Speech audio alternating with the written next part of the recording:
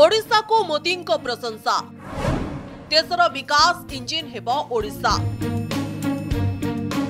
ଅବସର ଥିଲା ଏନ୍ଡିଏ ସଂସଦୀୟ ଦଳର ବୈଠକ। ସଂସଦ ଭବନ ସେଣ୍ଟ୍ରାଲ ହଲ୍ରେ ଓଡ଼ିଶାକୁ ଭୁରି ଭୁରି ପ୍ରଶଂସା କରିଛନ୍ତି ପ୍ରଧାନମନ୍ତ୍ରୀ ନରେନ୍ଦ୍ର ମୋଦି। କହିଛନ୍ତି ମହାପ୍ରଭୁ ଜଗନ୍ନାଥ ହେଉଛନ୍ତି ଗରିବଙ୍କ ଦେବତା। ଓଡ଼ିଶାର ନିର୍ବାଚନ ଫଳାଫଳ ବିକଶିତ ଭାରତର ସ୍ୱପ୍ନକୁ ନୂଆ ଗତି ଦେବ। ଆଗାମୀ ପଚିଶ ବର୍ଷ ପର୍ଯ୍ୟନ୍ତ ଦେଶର ବିକାଶରେ ଇଞ୍ଜିନ୍ ହେବ ଓଡ଼ିଶା महाप्रभु जगन्नाथ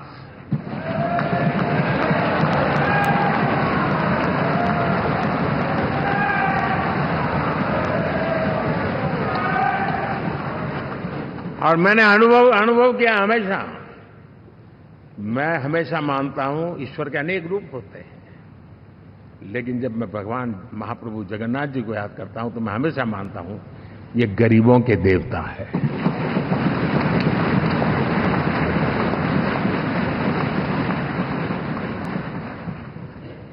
और वहाँ जो क्रांति रूप परिणाम आया है, मैं इसे एक रिवॉल्यूशन देख रहा हूँ।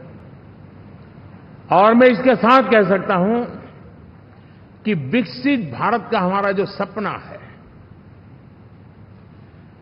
आने वाले 25 वर्ष, पहले मैंने 10 साल कहा था। या मैं 25 साल कह रहा हूँ। आने वाले 25 साल, महाप्रभु जगन्नाथ जी की कृपा से उड़ीसा देश की विकास यात्रा के ग्रोथ इंजन की एक होगा।